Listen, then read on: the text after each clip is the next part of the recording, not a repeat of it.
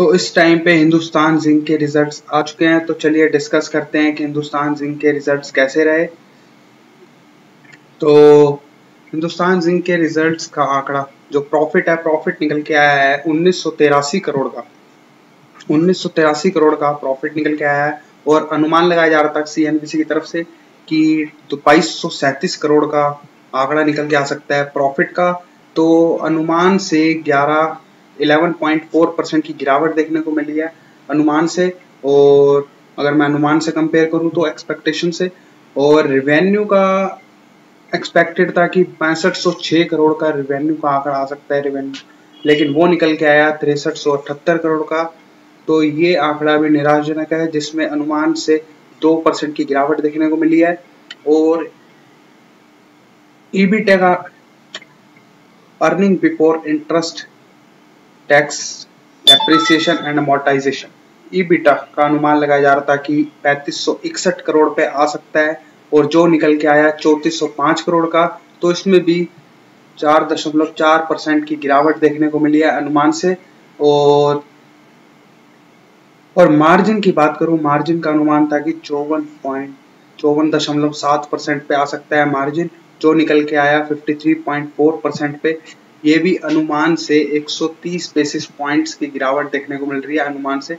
अगर मैं मतलब एक हिंदुस्तान जिंक के रिजल्ट्स की बात करूँ तो एक निराशजनक रिज़ल्ट ही रहे। अनुमान से कम आया बाज़ार को पसंद नहीं आने चाहिए ये रिज़ल्ट और ऑफकोर्स बाज़ार को पसंद नहीं आएँगे। और अगर हम पिछले साल से कंपेयर करें, किस तरीके के रहे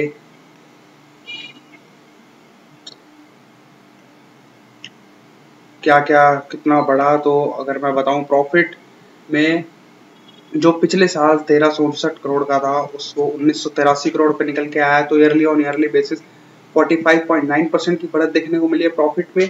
और रिवेन्यू जो अड़तीस सौ अट्ठानवे करोड़ का था, वो आया तिरसठ सौ अठहत्तर करोड़ का तो उसमें भी 63.6 परसेंट का जंप देखने को मिला।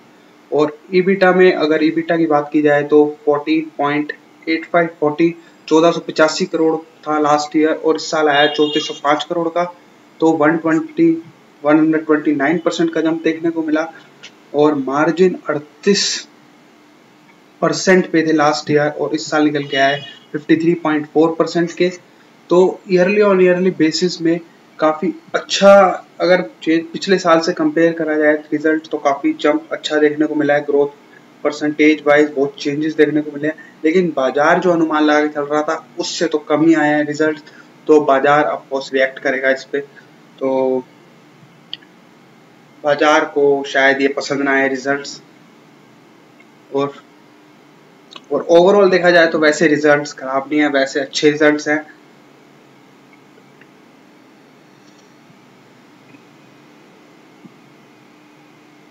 तो चलिए मिलते हैं नेक्स्ट वीडियो में।